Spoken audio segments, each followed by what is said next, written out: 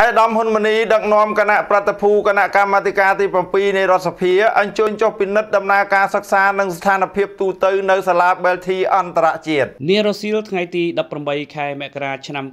2021សាលា Belty អន្តរជាតិមានកិត្តិយសដ៏ឧត្តមឧត្តមបានទទួលបដិសន្ធារកិច្ចស្វាគមន៍វត្តមានដ៏ខ្ពង់ខ្ពស់របស់ឯកឧត្តមលោកជំទាវគណៈប្រតិភូគណៈកម្មការអប់រំយុវជន កីឡាធម្មការកិច្ចការសាសនាវប្បធម៌និងទេសចរនៃរដ្ឋសភាជាតិដឹកនាំដោយឯកឧត្តមហ៊ុនម៉ាណីប្រធានគណៈកម្មការរួមជាមួយវត្តមានឯកឧត្តមអឹមកុចរដ្ឋលេខាធិការតំណាងដ៏ខ្ពង់ខ្ពស់ឯកឧត្តមបណ្ឌិតសភាចាហងជួនរុនរដ្ឋមន្ត្រីក្រសួងអប់រំយុវជននិងកីឡាក្នុងឱកាសអញ្ជើញចុះពិនិត្យដំណើរការសិក្សានិងស្ថានភាពទូទៅនៅសាលា Belty អន្តរជាតិទី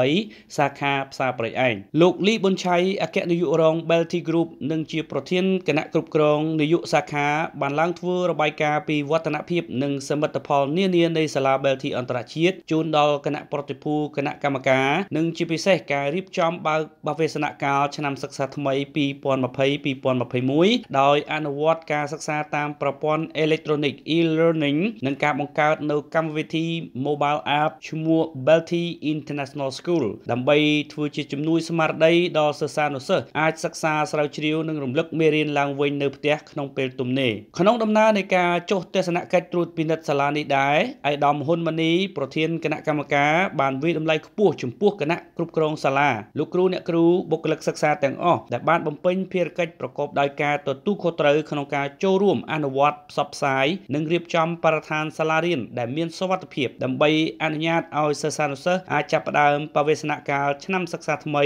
ពោពេញដោយភាពកក់ក្ដៅទន្ទឹមនេះឯកឧត្តមប្រធានគណៈកម្មការក៏បានមានប្រសាសន៍ជំរុញឲ្យគ្រឹះស្ថានសិក្សាទាំងអស់បន្តការយកចិត្តទុកដាក់និងត្រៀមបន្ថែមក្នុងការសម្របខ្លួនទៅតាមគន្លងថ្មីនៃវិស័យអប់រំដោយសង្កត់ធ្ងន់លើស្ថានភាពនៃការប្រកួតប្រជែងរបស់កម្ពុជានាថ្ងៃអនាគតដែលពឹងផ្អែកលើគុណភាពនៃការអប់រំនិងការអភិវឌ្ឍធនធានមនុស្សពីមួយចំនួនទៅមួយចំនួនសូមជម្រាបជូនផងដែរថាការចុះទស្សនកិច្ចផ្ទាល់នៅតាមសាលារៀនដើម្បីស្វែងយល់ពីដំណើរការអនុវត្តគោលការណ៍ប្រតិបត្តិរបស់ក្រសួងអប់រំយុវជននិងកីឡានៅតាមសាលាក្នុងរាជធានីភ្នំពេញគឺជាការចុះលើកដំបូងរបស់គណៈកម្មការដោយកន្លងមកគណៈកម្មការទី7នៃរដ្ឋសភាបានផ្ដោតការចុះបំពេញបេសកកម្មរបស់ខ្លួនទៅកាន់រាជធានីខេត្តដើម្បីតាមដានត្រួតពិនិត្យនិងក្តាប់ស្ថានភាពរួមនៃការអនុវត្តកម្មវិធីនយោបាយរបស់រាជរដ្ឋាភិបាលក្នុងវិស័យទាំង4ក្នុងបន្ទុកនៅមូលដ្ឋានផ្ទាល់គួរបញ្ជាក់ដែរថាសាលា Belty អន្តរជាតិមាន24ទីតាំង21ទីតាំងកំពុងដំណើរការនិង3ទីតាំងទៀតកំពុងសាងសង់និងមានបុគ្គលិកបម្រើការចំនួន2453នាក់នារី